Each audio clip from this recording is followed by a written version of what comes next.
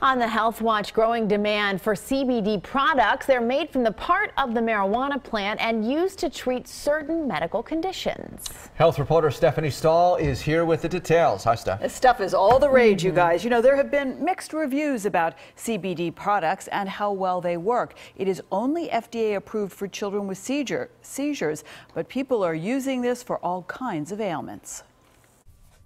Vicki Ray Thorne has fibromyalgia, PTSD, and severe depression.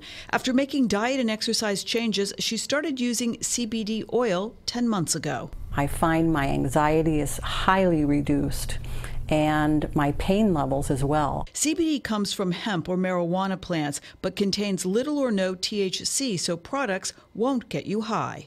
It's amazing and it changes lives. This 14 year old girl has been using CBD capsules and gummies for a year. She and her mother agreed to speak if their identities were concealed. The teen suffers from an autoimmune disease causing obsessive compulsive disorder and separation anxiety. She missed 264 classes in one school year. We'd pull up to the school building and like I wouldn't get out of the car I just couldn't. And after CBD? I can go hang out with my friends. I joined the debate team. And I really credit it with giving her her life back. A couple of small studies have shown CBD reduces seizures in children, and the FDA just approved the first prescription drug for that purpose. CBD oil is not snake oil, nor is it a miracle drug. Dr. Ring says CBD can help with chronic pain issues like arthritis, rheumatoid arthritis, and also in inflammatory or autoimmune issues like Crohn's disease and multiple sclerosis.